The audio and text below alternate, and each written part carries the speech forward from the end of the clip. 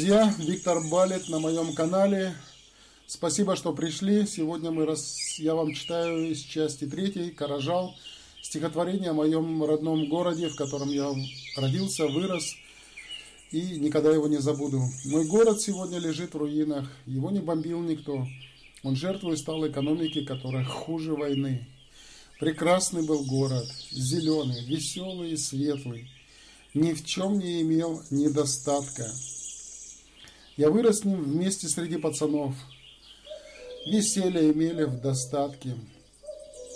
Всегда охотно я в мечтах возвращаюсь в мой город, в далекой казахской степи, и вспоминаю с любовью о нем, за юность мою, за нескучную жизнь, за них благодарен я всем каражальцам, без исключения всем. Пусть жизнь наша служится радостно, счастливо, во всех частях света, на всех континентах. Мы жители мира, ведь мир весь наш дом. Но как бы там ни было в памяти нашей, ты, Каражал, остаешься для нас маяком. До встречи, дорогие мои. Заходите, не забывайте. Я приготовил для вас отличные видео. Смотрите часть четвертую и разошлите под это видео всем вашим знакомым друзьям. И также не забудьте, конечно, наших каражальцев.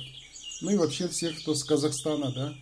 Таких городов у нас много в Казахстане осталось. Разошлите, пожалуйста, это видео всем каражальцам и всем вашим знакомым и друзьям. Итак, пока-пока.